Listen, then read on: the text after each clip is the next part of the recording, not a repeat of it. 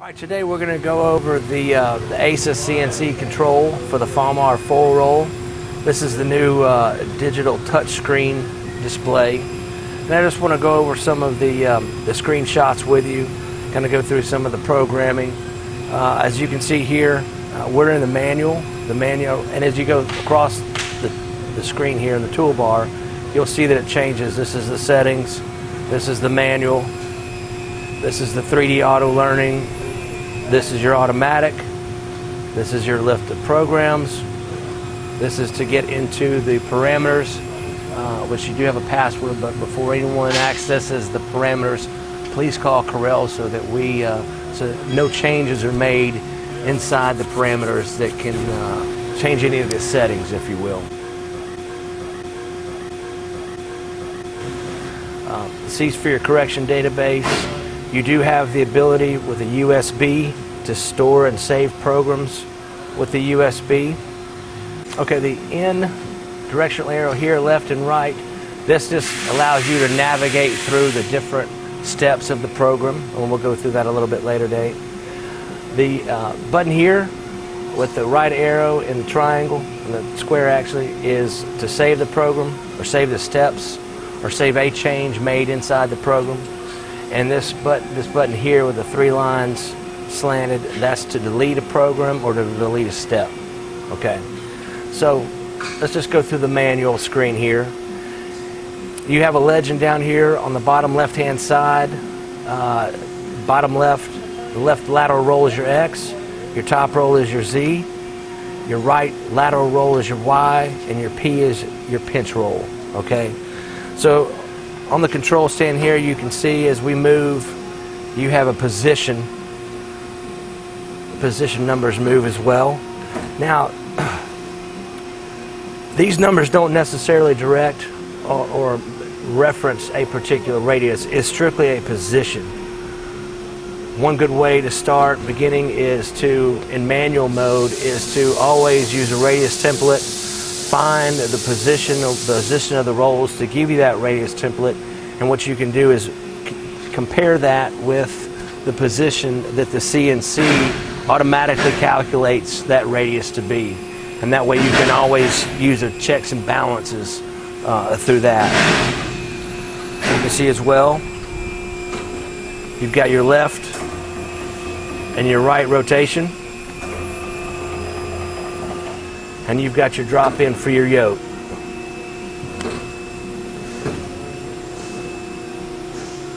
One thing to do before when you turn the machine on every morning, you go into general sizing. You want to bring all of your rolls down to the be beginning here, your starting position. You go into general sizing. You can see the green button lights up. You hit your start. And what that does is just tells the software that this is the base position, this is the, the zero position, if you will. Uh, and that's going to, that way you always know where your, your numbers are. Okay, so we're out of that manual. Uh, let's go basically, uh, let's go through a, uh, the steps of a program. want to go through your settings. Down here on the uh, bottom left, you'll see where it says create new program. And with the CNC, you get uh, these six shapes here. You've got an oval, you've got your polycentric shape, you've got your cylinder, your rectangle, your oval for parallel sides, and an open shape as well. So if I wanted to create one for a cylinder, the general data is the way that the CNC uh, works is it literally just asks you what your thickness is. Let's use and you can do this in a uh, you can do this in millimeters or you can do this in inches. Right now we have it set for millimeters. Let's do 4.5 with the width. Uh, let's just say it's 50 millimeters wide. The material list here Acciaio is carbon. Inox number is three. That's stainless. And you have aluminum. We're going to pick carbon keep the K factor at one. Uh, depending on what which side of the machine that you would like to bring the material in. Right now, if we're standing at the yoke end of the machine looking at the the X roll, which is your left lateral roll, we're going to be moving from the left side. If you would like to come in from the right side, your right steps enable, you would just hit one. Zero, you come in from the left, right, one comes in from the right. The percentage of crimping, how much force that you're going to bring up in terms of the pinch pressure, it automatically defaults to 100. We're going to use it at 80. Cyclic type, if you want to confirm this, it calculates the information that you're going to have here. So we're going to put in, uh, see, yes, yes. Let's do go in here and hit, let me go back, because we'll name this program later once we save it. What is the radius going to be? Uh, let's say right now the radius, let's just make this a 50 millimeter radius. The length, it, auto, it automatically calculates the length of the part in terms of millimeters for you. And then once you have that information in here, it's going to hit, hit this button, calculate.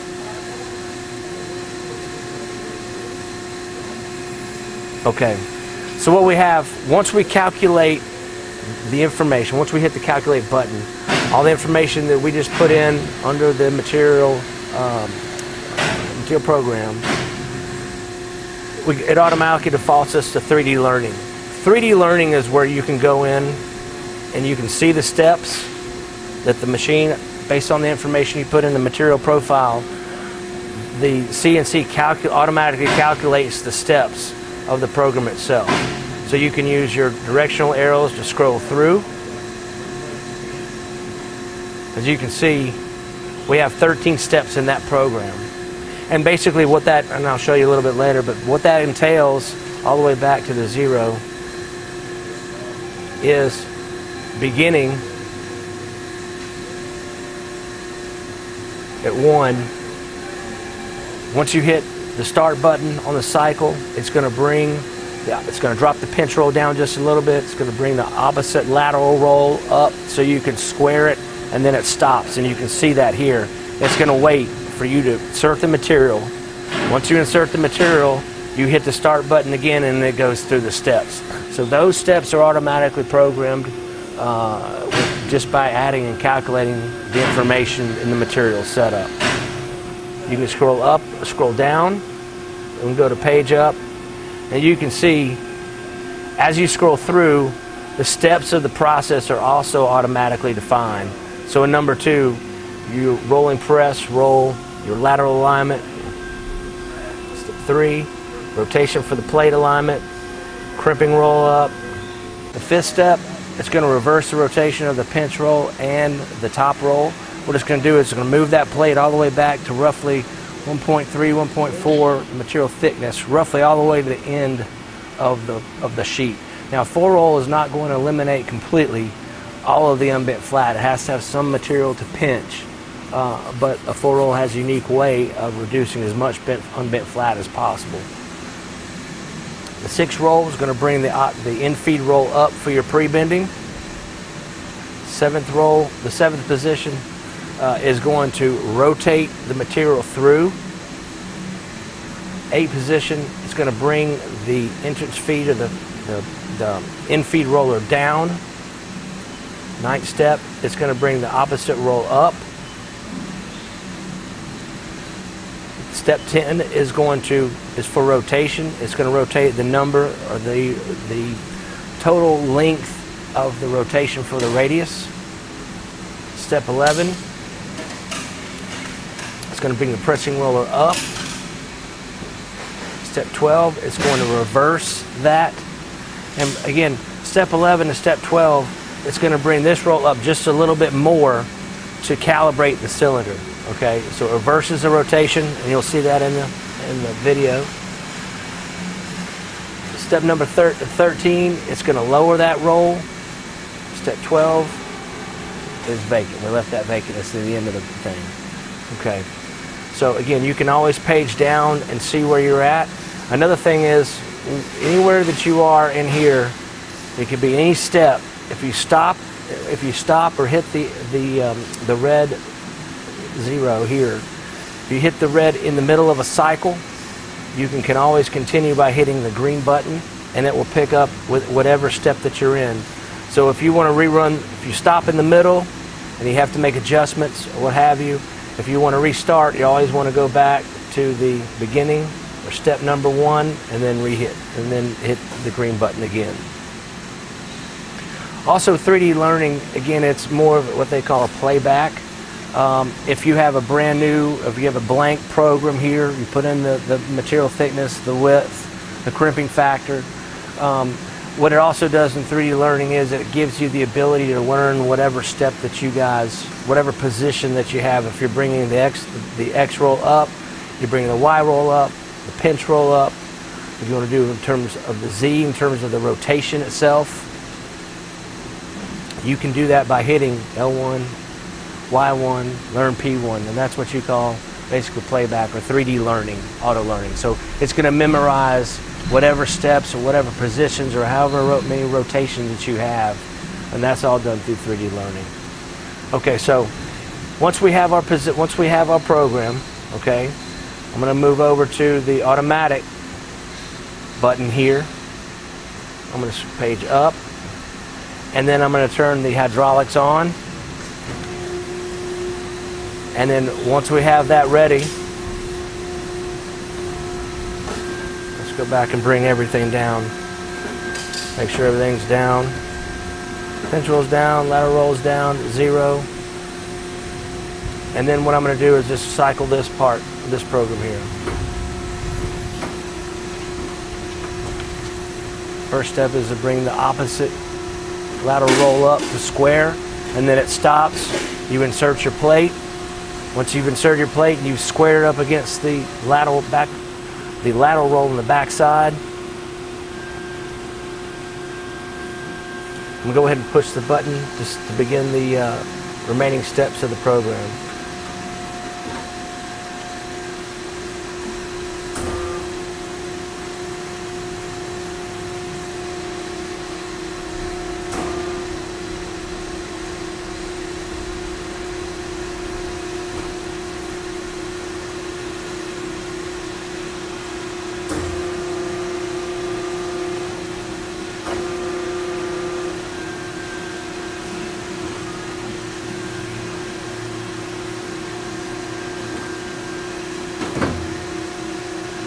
And then you remove the part from the machine. From here, if you'd like to go right back into the, put another piece in, you hit the green button. Brings the opposite lateral roll up to square. You put your sheet in, and then you hit your green button. So again, anywhere in the program, if you'd like to, let's just go ahead and start this and I'll show you. As you will on page down, as it's going through the steps and moves from one to the other, I can stop that. You can see the light goes off, so that means that the automatic automated cycle has stopped. And then we can continue. Let's say, for example, I want to go back and check the radius in step number five, or the pre-bending portion of that.